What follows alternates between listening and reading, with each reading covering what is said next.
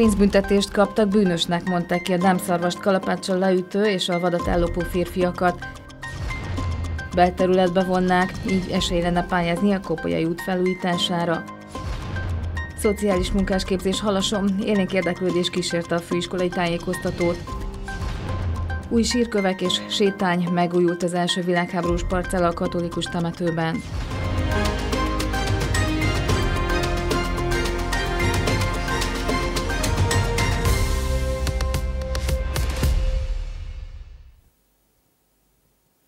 Jó estét kívánok! Február 24-e hétfő van, önök pedig a Halas Televízió hírműsorát látják.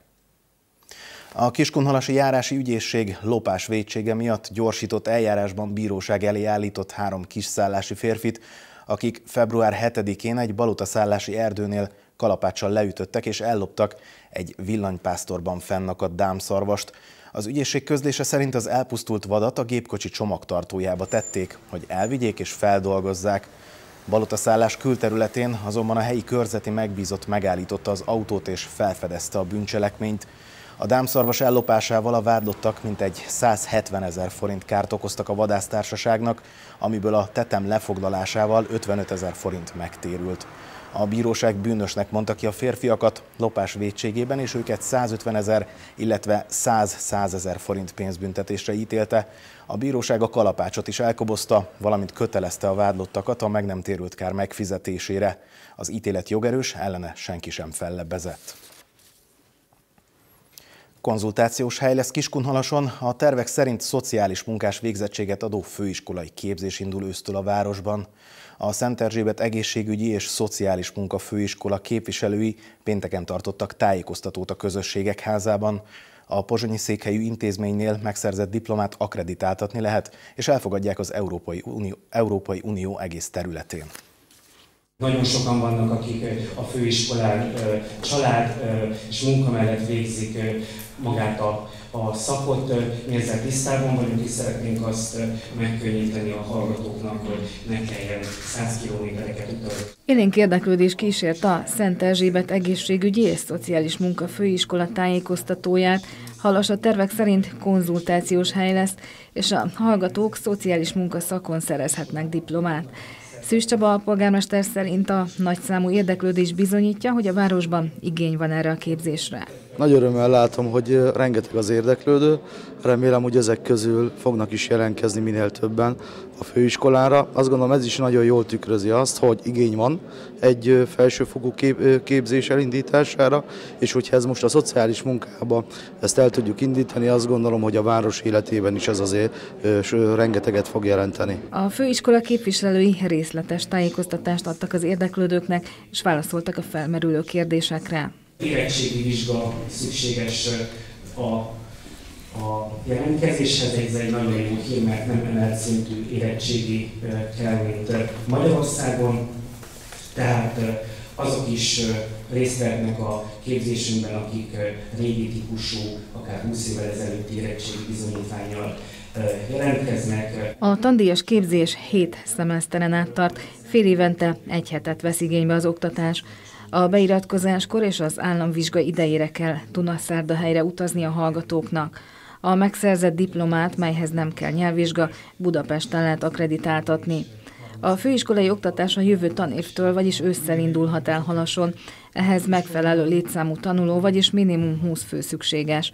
Ilyen kihelyezett képzések más településeken már működnek. A főiskola pozsonyi székhelyű, és Dunaszerdain van a kihelyezett kihelyezettség, és konzultációs helyet több helyen nyitunk, köztük Kiskunhalason is, és jelenleg Párkányban, Kecskeméten, Ipolyságon vannak konzultációs helyeink.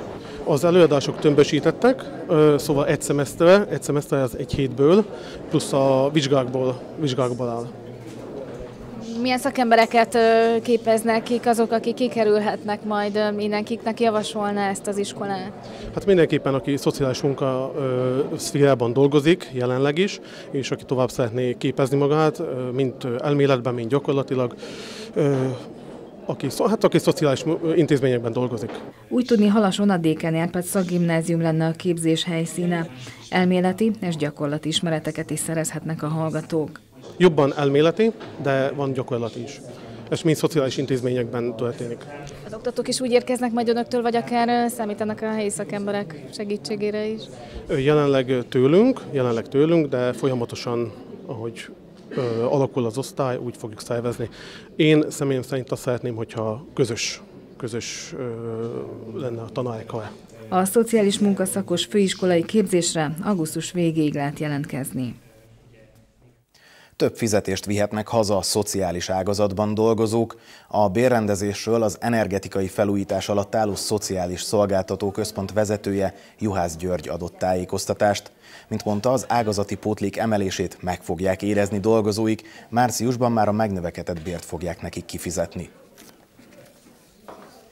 Nagyon-nagyon jó hír, hogy a, a kormány úgy döntött, hogy a szociális ágazatban dolgozó kollégáknak a ágazati pótlékát megemeli. Ez jelentős béremelést fog jelenteni, ugye annak mértékében, hogy ki hány éve dolgozik már a közszolgálatban, illetve milyen iskolai végzettsége van, de minimum egy ilyen bruttó 20 ezer forint körül, és ettől nagyobb összegek is béremelkedés lesz havonta, amit most márciusban visszamenőleg megkapnak kapnak a munkatársak, úgyhogy ez nagyon jó hír, nagyon vártunk már mindannyian arra, és örülünk neki, hogy, hogy így indul az évünk tulajdonképpen, az, ez, ez egy, egy nagyon jó dolog. A hét elején tanácskoznak a bizottságok, csütörtökön pedig halas képviselőtestülete hoz döntéseket. A témák között szerepel a Kopolyai út belterületbe vonásának kérdése is. Az út műszaki állapota régóta indokolná a felújítást, a Kopolyai út jelentős külterületi lakóterületet köt össze a várossal, ezen felül a Jánoshalma felől halasra érkező forgalom nagy része is itt bonyolódik. Útfelújításra igénybe vehető források jellemzően a belterületi úthálózat felújítását támogatják, ezért jelenleg zártkerti fekvési Kopolyai útra nem tud támogatást igényelni a város. A belterületbe vonás esélyt teremtene a támogatás igényelhetőségére, áll az előterjesztésben. A képviselők csütörtökön szavaznak a Kopolyai útról. Több mint 90 új sírkő a katolikus temetőben. A 11-es parcellában lévő első világháborús sírhelyekben nyugvó hősi halottak nevei olvashatók azokon a sírköveken, melyeket az egyház közbenjárásával készítettek el és helyeztek ki a közelmúltban. A területet rendben tartó civil egyesületek szerint végre méltó megjelenést kapott a sírkert ezen része is. A katolikus temető 11-es parcellájában világháborús hadisírok találhatók. A közelmúltban új sírköveket helyeztek ki a katonák emlékére. 2010-ben itt gyakorlatilag egy hatalmas gaztenger volt. Az első világháborús 11-es parcellánál. A Pásztortűz Egyesület is elkezdett ezzel foglalkozni, önkénteseket vontunk be, és hát én azt gondolom, hogy egy nagyon jó összefogás, társadalmi és civil összefogás eredményeképpen elkezdtünk ezzel a parcellával foglalkozni, ebbe ugye a Mozgáskorlátozottak Egyesülete nagyon szépen becsatlakozott. Aztán pedig volt egy minisztériumi támogatás, aminek köszönhetően megújult ez a parcella, igen, katonás lett, egységes lett, és azt gondolom, hogy nagyon örülünk neki, hogy végre foglalkozott vele valaki nagyon komolyan, és ezt így rendbe hozta. Ez elsősorban ugye a katolikus egyháznak, a, a plébániának köszönhető, hogy ez megújult, és ilyen szép lett, és azt gondolom most már azért mégiscsak könnyebb lesz rendbe tartani majd itt a sírokat a tavasszal, illetve ősszel voltak itt emlékezések, és akkor is nagyon sokan jöttek és gyertyát gyújtottak, virágot hoztak. Fontos ez a halasiaknak, hogy a halasi katonákra az első világháborúban elhunytakra, illetve a hadirokkantakra emlékezzünk. Nem csak a sírkövek újultak meg, egy térkövezett sétányt is kialakítottak a felújítás során. A mozgáskorlátozottak Halasi Egyesületének tagjai is rendszeresen kijárnak ide, hogy rendben tartsák a parcellát. Most a lakosság segítségét is kérik, hogy még szebb lehessen ez a terület. Ezeknek a síroknak már a hozzátartozóik nem élnek, és gondoltuk, hogy mi szépen rendbe tartjuk őket. Virágokat ültettünk minden évbe rá, most ugye nagyon szépen meg van csinálva. Gondoztuk mi mindig a, a halottak napja környékén, gyertyát gyújtottunk, és kiigazoltuk, leveleket összetakarítottuk, mindent megcsináltunk. Most a virágot elég sokat ültettünk, az idén el is, vagyis a tavaly októberbe el is ültettük őket, hogy megmaradjonak a következő évekbe is, mert hogy fogytán a pénzünk, és nem biztos, hogy mindig tudunk cserepes virágot hozni. Úgyhogy nagyon szépen kérem a lakosságot, aki gondolja, hogy ezek az emberek, akik értünk harcoltak, megérdemlik, akkor szíveskedjenek gondoskodni ők is, és hozzanak rá virágot. A Pásztortűz Egyesület a jövőben is több megemlékezést szervez majd a 11-es parcellában nyugvó katonák tiszteletére. Azt gondolom nem csak az, a mi egyesületünknek fontos, hanem vannak itt még más halasi egyesületek is, akiknek fontos az, hogy a hősi halottakra, a katonákra, akiket elvittek innen, nyilván nem önként mentek többségében, hanem elviszik őket, édesapák, nagyszülők, testvérek, férjek, azok, akik elmentek és, és örökre itt hagytak minket, rájuk fontos az emlékezés, és a halasiak szívében ez mindörökké megmarad, én azt gondolom. Közzétették a hulladékgyűjtés és szállítás idei évi tudnivalóit. A kiskunhalas.hu oldalon olvasható tájékoztatás szerint idén is minden hónapban lesz egy olyan hét, amikor az úgynevezett zöldjárat elszállítja a biológiailag lebomló hulladékot. A kertekben, konyhákban keletkező szerves anyagtartalmú hulladék elszállításra a szolgáltató a megszokott gyakorlat szerint biztosít biológiailag lebomló zsákot. A zöld hulladékot kötegelve is ki lehet tenni, úgyhogy a begyűjtést végző gépjármű meg tudja közelíteni, és kézi erővel mozgatható legyen. A kommunális hulladék és a sárga fedelű csomagolási hulladék gyűjtésére szolgáló edények ürítésének módja is a megszokott lesz. Évente két alkalommal továbbra is igénybe lehet venni a házhoz menő lomtalanítást, erről a szolgáltatóval kell időpontot egyeztetni. A 2000-es évek közepén azért alapították a Sport az Esélyért Kiskunhalasi Egyesületet, hogy segítse a szociálisan rászoruló hátrányos helyzetű fiatalokat. Ennek egyik eleme az a labdarúgó kupa, amelyre évről évre februárban kerül sor.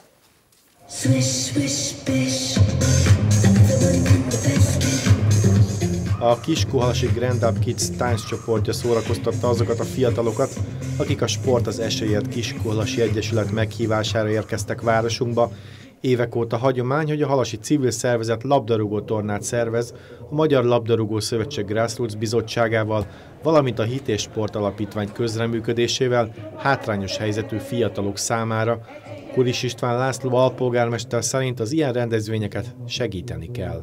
Kell támogatni ezeket az eseményeket, hiszen olyan fiatalok érkeznek ide, akár a helyiekről beszélünk, akár azokról, akik, mint a megnyitóban említve volt, 250 kilométert utaznak.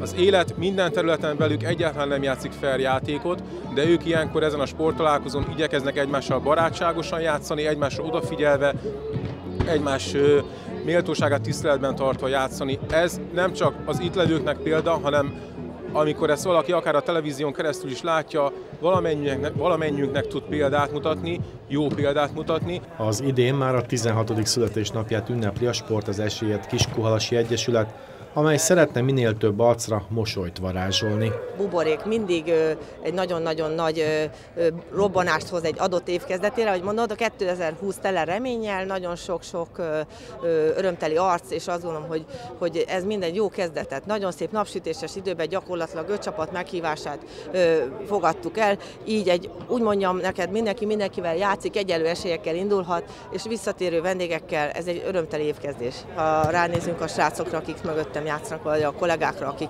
van, aki 250 kilométert utazik azért, hogy ergo itt alszik, másnap focizik és megy haza felelősséget vállalva, és ide téve magát, úgy feltölt mindannyiunkat, és azt gondolom, hogy óriásit adunk, kapunk egymásnak, hogy ez egy nagyon-nagyon nagy lelki dolog, és a sporton túl. A rendezvény elérte a célját, a helyezésektől függetlenül valamennyi résztvevő nyertese volt ennek a napnak. Holnap lesz a kommunizmus áldozatainak emléknapja. Halason február 25-én kedden 16 órakor kezdődik a megemlékezés. A program első felében a Városháza utcai emléktáblánál koszorúk mésesek elhelyezésére kerül sor. Ezt követően a Torma János Múzeumban folytatódik a megemlékezés. Dr. Ván Lajos mond beszédet, az ünnepségen a Bibó István gimnázium diákjai is közreműködnek. Most pedig egy-egy mondatban felidézzük a nap legfontosabb témaköreit. Pénzbüntetést kaptak, bűnösnek mondták ki a dámszarvast kalapáccsal leütő és a vadat ellopó férfiakat. Belterületbe vonnák, így esély lenne pályázni a Kópolyai út felújítására. Szociális munkásképzés halasom, élénk érdeklődés kísérte a főiskolai tájékoztatót. Új sírkövek és sétány megújult az első világháborús parcella a katolikus temetőben.